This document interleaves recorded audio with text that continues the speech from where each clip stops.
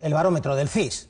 Es decir, Partido Popular ganaría las elecciones, a cuatro puntos del Partido Socialista que aguantaría. Tercera posición para Ciudadanos, les desbancan a ustedes, les sitúan en cuarta posición y además bastante hundidos. Decía Ada Colau, si fuera por las encuestas yo no sería alcaldesa.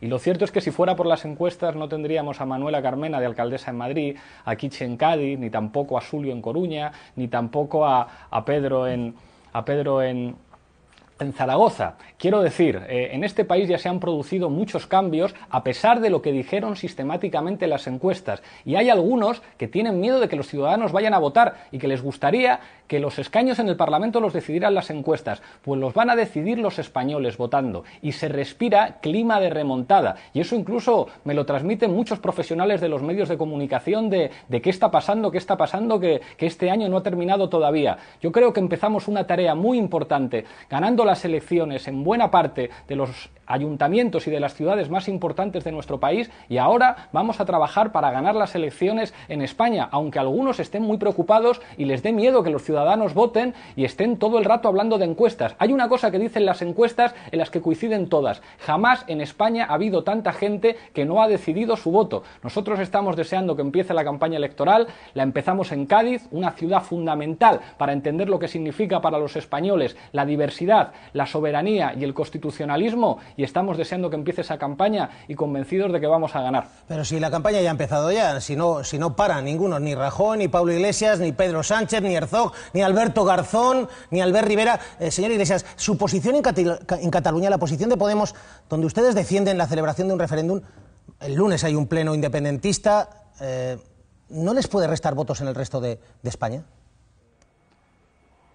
Yo creo que todo lo contrario. Yo creo que todo el mundo sabe ya que la única fuerza política con capacidad para garantizar la unidad de España es Podemos, precisamente porque entendemos que la unidad y la fuerza de España se fundamenta en la plurinacionalidad y en la diversidad y en que nosotros no tenemos miedo a que se vote. Nosotros hemos dicho muchas veces, España nos parece un país plurinacional. No tenemos ningún miedo a que Cataluña sea reconocida como nación y tenga un encaje constitucional dentro de España. Precisamente por eso, nuestra posición de diálogo abierta, que entiende que la fuerza fuerza de España es su diversidad y es su plurinacionalidad. Precisamente por eso nosotros no tenemos nada que ver con ese búnker que hemos visto con esa foto terrible de Albiol, de Arrimadas y de Iceta. La misma imagen que estamos viendo con Rajoy, con Pedro Sánchez y con Albert Rivera. Una imagen que nos recuerda una época de nuestra historia, la transición. Estamos viviendo una nueva transición. Entonces se hablaba de búnker. Algunos se han convertido en un búnker que tienen miedo a los cambios. Nosotros pensamos que hay que avanzar dialogando. Pero ¿por qué le parece tan terrible la foto en el constitucional de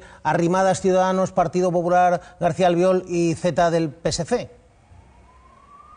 Es la foto de lo viejo, Antonio. Es la foto del fracaso. Es la foto de los que recogían firmas contra el Estatut de Cataluña, arrimadas al lado de Albiol, al lado de alguien que se ha caracterizado por defender posiciones xenófobas. Es terrible. Es la foto del pasado, la foto de lo viejo. Me apena que una fuerza política como Ciudadanos, con la que a lo mejor nos podríamos entender en cuestiones que tienen que ver con la regeneración, vayan de la mano del Partido Popular, de una formación política que ha defendido posiciones xenófobas en Cataluña. candidato, escucho, te escucho. Sí, pero candidato, no, no estaba Arrimadas o IZ defendiendo la política xenófoba en Badalona de García Albiol. Estaban diciendo que se estaban rompiendo las reglas de juego en el Parlamento de Cataluña con una resolución que quiere desconectar a Cataluña de España con simplemente la mayoría absoluta en el Parlamento y montar la República Catalana. Es decir, no estaban refrendando las políticas xenófobas o racistas de, Antonio, fíjate que nosotros Antonio, fíjate que nosotros estamos diciendo que estamos en contra de la declaración unilateral de independencia, que no se puede utilizar el Parlamento de Cataluña para eso,